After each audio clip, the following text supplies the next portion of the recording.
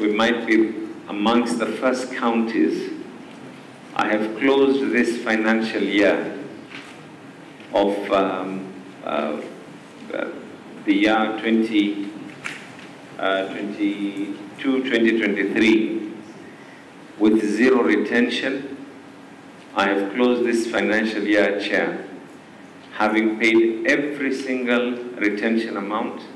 I have closed this financial year during the period that I have been in office, there will be no accruing pending bill. So that means I'm closing this year with zero pending bill. All the roads that we have done, the 30 roads, any one of them that the payment has reached to be paid has already been paid. Everything that we needs to, needs to be paid has been paid in totality in 100%. So we are closing the year with zero retention. We're closing the year with zero pending bills. And I'm saying the zero pending bills basically for this particular uh, financial year that we are, we are in. So we are not incurring anything extra.